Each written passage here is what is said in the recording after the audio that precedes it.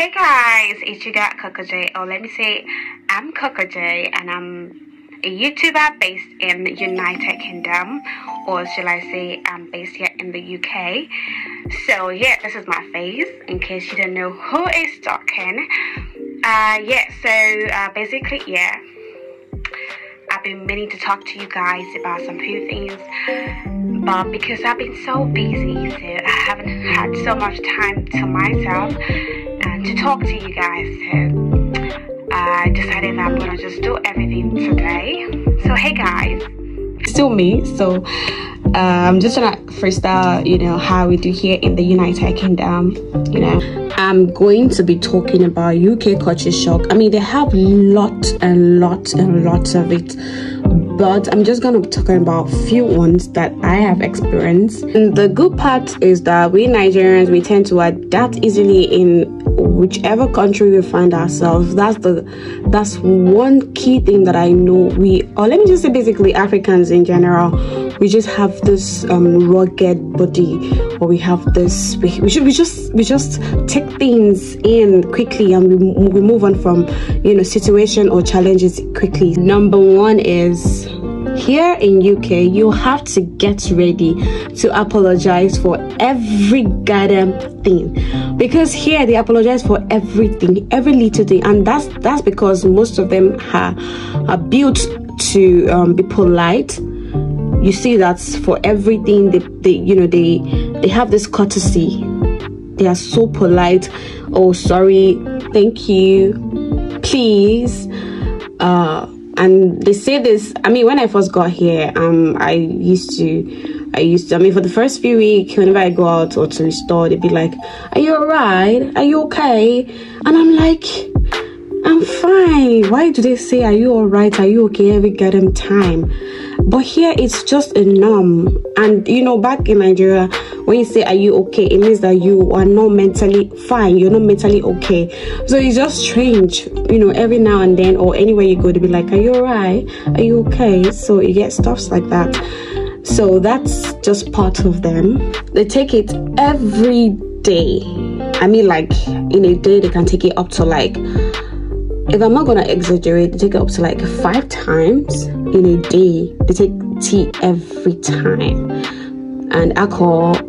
And number three, no one talks about their feelings here. Everyone on their own. I mean, there's an awkward feeling that comes with you saying how you feel here. You you, you don't just say how you feel anyhow because I mean if you if it happens to be, I think you need to back it up with some stuff because you can't just talk anyhow here.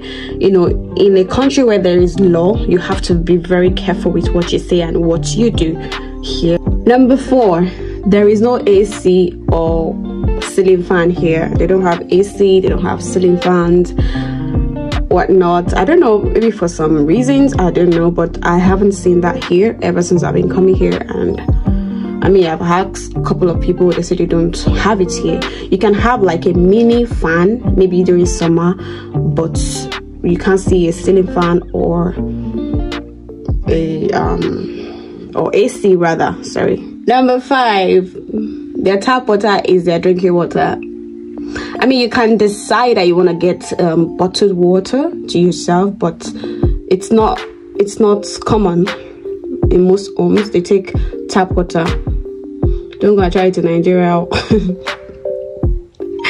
Where some people also take tap water back in Nigeria, but I mean, like here, it's just like a a very, or let me just say, it's because it's safe to take tap water here. It's very safe, so most people take tap water.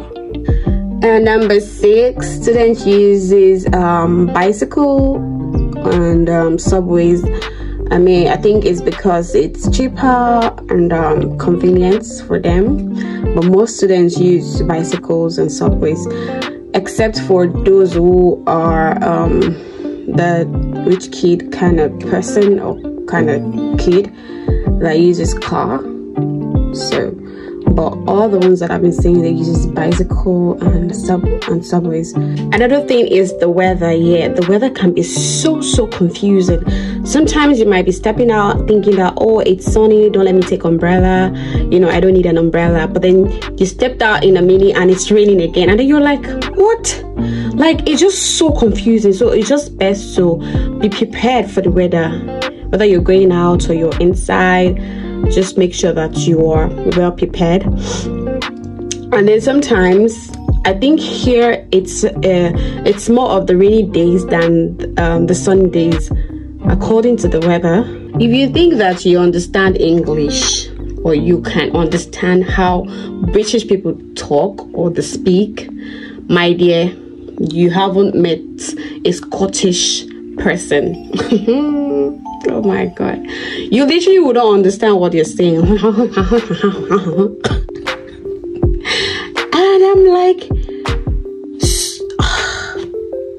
the same way we have different languages in Nigeria is the same here as well.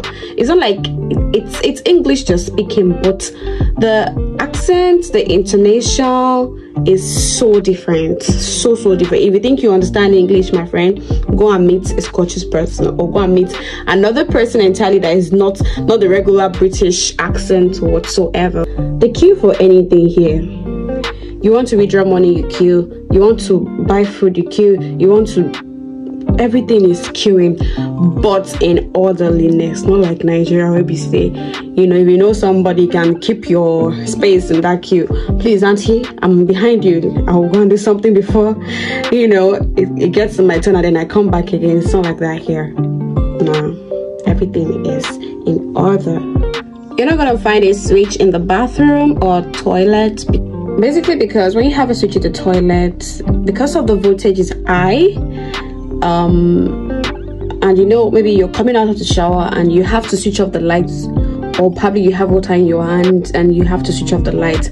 People get shocked. I don't know according to what i was told and what i read online. So they had to put like a rope that dangles it dangles down and then you just like pull it to switch on on switch off the light which is so easy and so convenient, right?